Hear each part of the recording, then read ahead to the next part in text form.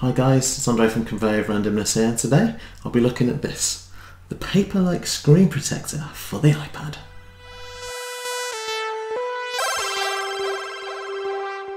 First of all, I'll let you into a little secret. If anyone saw one of my latest tweets at Random Conveyor, if you're not already subscribed, you'll know that I accidentally cracked the screen on my iPhone 11 and had to make the trip to the Apple store to get it repaired and I was a bit worried that it may happen again. So I purchased another case for my phone and for the iPad a screen protector. I only needed the screen protector as the iPad was already in a case. Doesn't ever really leave the house. I wanted to try a screen protector that not only protected the screen but also complemented my use of the Apple Pencil on the iPad. I'd heard a lot about Paperlike and wanted to see for myself its qualities which as well as screen protection gives the iPad a reduced reflective surface and its main attraction offers an enhanced Apple Pencil experience, generations 1 and 2, depending which iPad you've got. And it does this by emulating the feel of paper when you're writing or drawing on the now matte coated iPad surface instead of the hard, unappealing writing experience that you can get by writing directly onto the glass of the iPad or with any other screen protectors. You're able to purchase the Paperlike screen protectors for any size iPad and I'll leave the Amazon and Paperlike website links in the description below. Right, let's go and open the Paperlike package. I'll show you what you get in the package and the procedure of how to apply it to your iPad.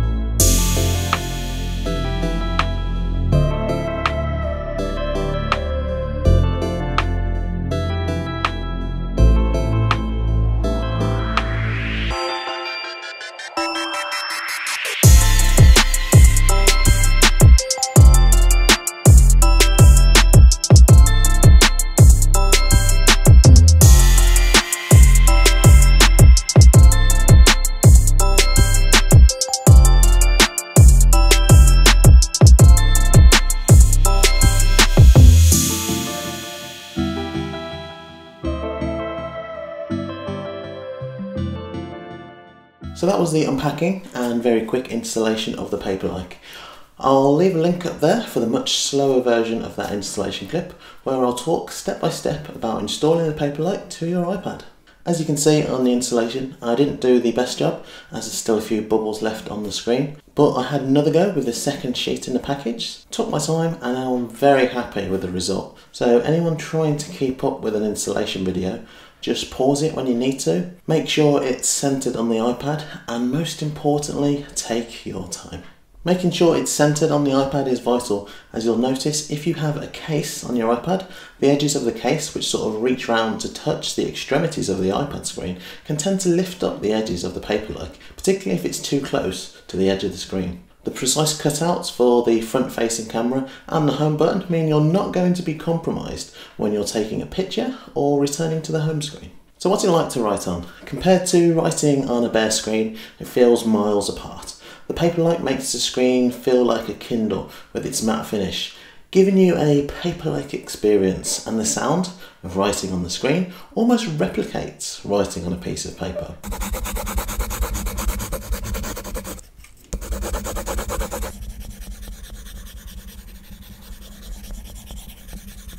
As you can see, if we compare both the before and after shots, the glare of the iPad is significantly reduced thanks to those nanodots, which means you'll be in a much better place to take your iPad outside on a sunny day and not have to manoeuvre every time the sun reflects off into your face. You certainly feel in more control of your writing, gestures and pressures that you apply, which I didn't notice so much prior to putting the Paperlike on.